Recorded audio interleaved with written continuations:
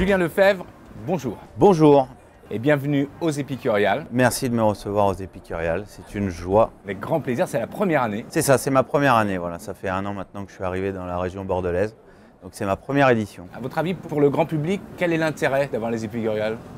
L'intérêt pour moi de- des Épicuriales, c'est par exemple un établissement comme le mien qui est situé à 45 km de Bordeaux, le rendre accessible à une clientèle bordelaise et pouvoir les conquérir, leur- donner l'envie de venir euh, fréquenter le château de Corday-en-Bage à Pauillac. Le, château se rend à Bordeaux, en fait. Exactement, voilà, tout à fait. Est-ce que vous pouvez euh, déjà nous, nous- nous- nous parler, alors euh, justement, de ce restaurant, Château de Corday-en-Bage Alors le château de Corday-en-Bage, euh, c'est un établissement euh, cher aux yeux de la famille que j'ai repris en avril euh, 2017. J'ai réobtenu une première étoile, donc c'est une première étape vers euh, d'autres euh, d'autres cieux et, euh, et donc on est très très content. Qu'est-ce que vous faites comme spécialité là-bas? Typiquement, l'entrée de ce soir, les coquillages, est une entrée signature. C'est un de mes plats signature. Je suis normand d'origine. Chez moi, on aime, euh, quand il y a des grands coefficients de marée, euh, aller ramasser les coquillages. Donc j'ai une affection particulière pour ce produit.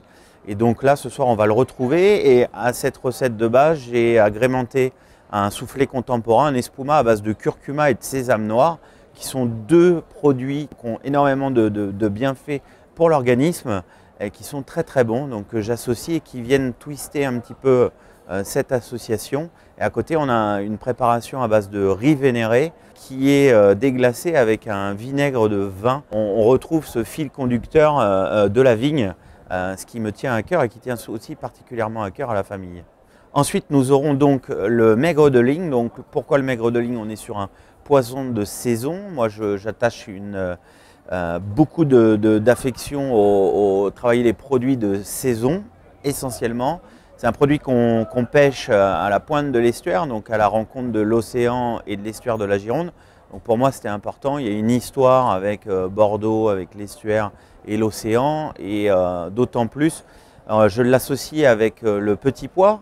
Donc le petit pois, c'est un de mes légumes préférés. On est en pleine saison, qui est accommodé avec du gingembre. Gingembre, énormément de vertus pour le corps.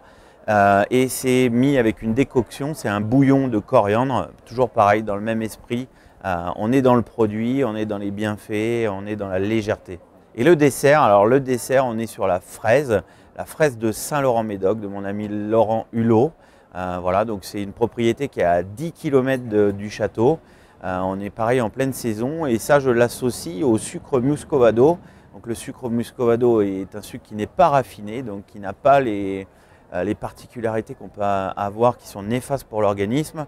Et je l'associe également avec de l'eau de coco, la noix de coco, avec euh, de profondes vertus également.